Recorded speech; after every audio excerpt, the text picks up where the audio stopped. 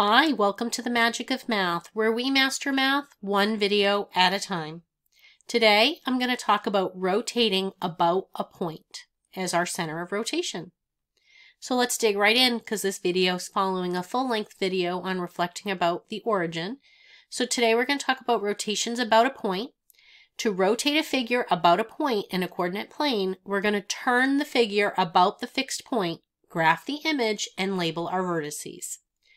So our direction state rotate triangle ABC 90 degrees clockwise about vertex B. So we have our center of rotation, which is going to be vertex B. Our direction is going to be clockwise, and we're going 90 degrees as our angle of rotation, so that's one turn in the coordinate plane. So now let's look at this. We're rotating around vertex B, and let's set it up. So we made one turn. So B, notice B did not move. B was at negative 1, 1, and that's our fixed point, our center of rotation. But if you pick up your computer and turn it, leaving B here, this is what it's going to look like. So I did it in a second just so we could visualize it. Now let's bring that triangle over and we're going to graph it. And A prime, B prime, and C prime. So noticing that AB is 1, 2, 3, AB 1, 2, 3. So AB and A prime B prime are corresponding sides and the same length.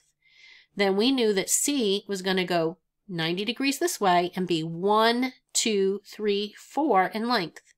1, 2, 3, 4 in length, and then you connect.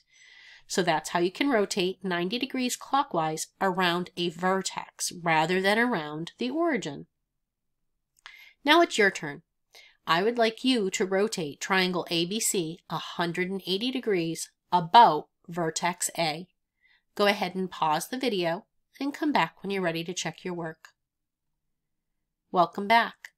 So here is our original triangle ABC and we're going to rotate it about vertex A right here. So that's going to be 180 degrees around this vertex A.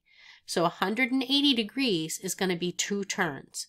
So our first turn is going to end us right here. A does not move, but notice that B goes down. And if you turned your computer, you would see that. It went to 4, negative 2, and C is over here on the y-axis, so 0, negative 1. Now we're going to do it again, I'm noticing that our sides are we have congruent images. You could also use tracing paper to help you with this and use your pencil on your point to be your spinner. Now we're going to go one more turn to the left, clockwise, 90 degrees, bringing us, and A does not change. So then we're going to go graph it over here, remembering A prime is going to be the same as A, B prime is going to be at negative 3, negative 1, and C prime is going to be over here. So noting that you're going to continue out. So if we look at this, A to C, we go down 1, and to the right, one, two, three.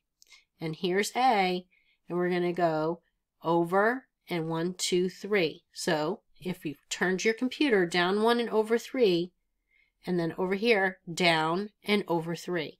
So you've got to imagine how you're doing this, and it should come out looking like a pinwheel. And your vertex, your center of rotation, never changes.